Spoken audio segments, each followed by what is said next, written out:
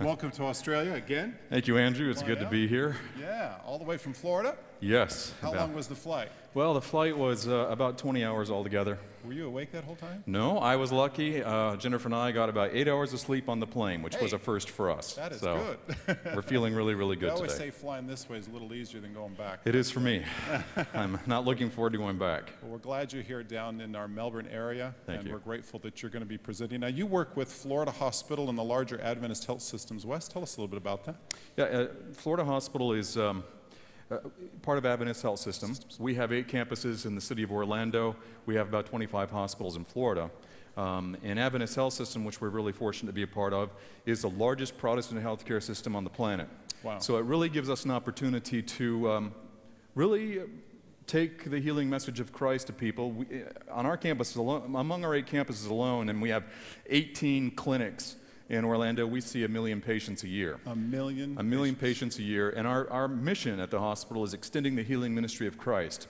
So it really gives us a chance to try to bring healing hope to people's lives. It's really an amazing, wonderful work to be a part of. Now, it sounds like this is kind of a different hospital. You're not just seeing patients coming in and out, but you guys help teach them about a better way to live. We do. Um, our flagship campus in Orlando is Celebration Health. And at Celebration Health, they've taken the Creation Health principles, which are whole person health and wellness principles, and they include those in the pre work, uh, the healing that's going to be done, whether it's operations or whatever it might be. So they include those principles in the pre work during their stay with us, and as they leave, they are fully versed in the Creation Health principles, and it's turning into a demonstration hospital. How do you how do you find the patients responding to that kind of input? You know, they are very positive. Uh, overwhelmingly, the response to them is they're so grateful that we took an interest in more than just their physical body. And uh, most of them, I'd say over 90%, are so happy that we're there to uh, help spiritually encourage them through prayer and uh, also help them see the mind body connection of why maybe they're in the situation they're in and some simple things they can do to uh, be healthier and happier. Now, you mentioned a whole person paradigm. Kind of describe that a little bit. What does that mean? The whole person paradigm would be that there's more to health than just diet and exercise.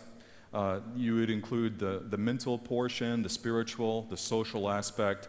Oftentimes, we've just talked about exercise and nutrition, Okay. but deeply impacting our wellness, because wellness is more than just the absence of disease, uh, is our walk with God, relationships. Uh, our outlook on life is huge. I'll be talking about that on Monday, and I think it's the most important one of all. Uh, so we really take, um, we've expanded the, the traditional eight principles of, of health that the evidence that we've been teaching as Adventists, and we've broadened them a little bit to include the whole person. So that's the acronym creation then. Creation. Okay, Yes. so we'll be going through each of these pretty much throughout the weekend. Excellent. Now, on a personal note, you mentioned you traveled over with Jennifer. That's not normal for you. no, it's not. Jennifer and I rarely get a chance to travel together. She's gone 150 days a year, and uh, I'm, I'm traveling as well. So it's always, a, it's always a treat when we get a chance to travel together and do things like this. All righty, so here's the big question. Right. What's it like to be in the shadow of somebody probably more popular than you are? Well, you know, I'm used to it after 16 years. I am referred to as the singer's husband. That's my, my title. Uh, and now that we have a son who's going on five, I'm, I'm, I'm either the singer's husband or Garrison's father. You know, I don't have my own identity. I, I, know what it's like to be the invisible man, but I'm okay with that because I, I like lurking in the shadows anyway. It's, sure, it's just not it's a problem. fine. Well, we're gl- glad, glad you're here. We're looking forward to your presentation. God Thank bless you, Andrew. I appreciate it.